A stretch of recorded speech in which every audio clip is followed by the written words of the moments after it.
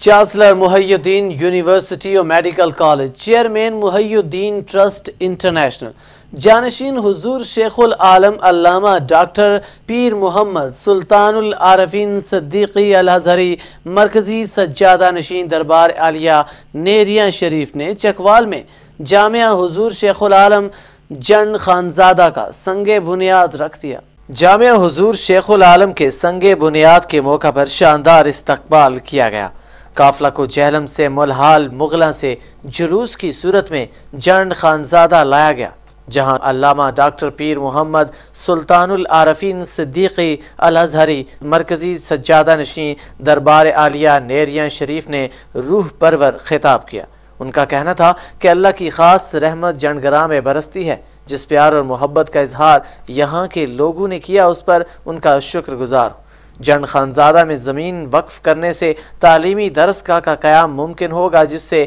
یہاں کے بچے دینی تعلیم سے آراستہ ہوں گے۔ حضور علیہ السلام نے ارشاد فرمایا، طلب العلم فریضۃ علی کل مسلم و مسلمۃ، کہ علم کا حاصل کرنا ہر مرد اور عورت، مسلمان مرد اور مسلمان مرد پر، عورت پر فرض ہے۔ آپ دیکھ لیجیے کہ میرے مرشد گرامی نیریہ شریف کی پہاڑوں سے اٹھے۔ اور ادارے بناتے بناتے بناتے بناتے انگلستان گئے اور انگلستان میں وہ کارہائے نمایاں سر انجام دیے کہ بر صغیر میں ایسی مثال دینا بہت ہی ناممکن ہے الحمدللہ جو شراب محبت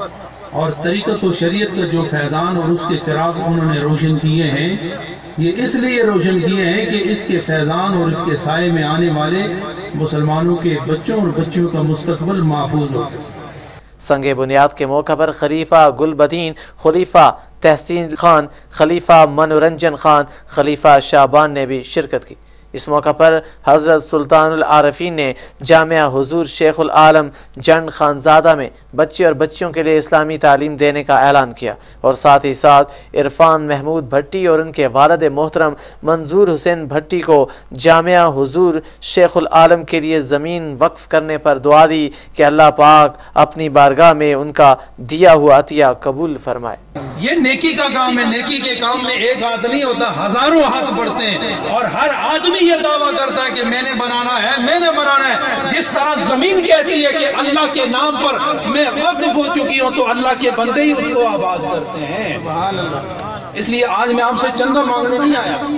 لیکن آج ایک سنگ بنیاد، ایک اعلان کر کے میں جاؤں گا یہاں سے اور اعلان کر رہا ہوں کہ انشاءاللہ اہلیان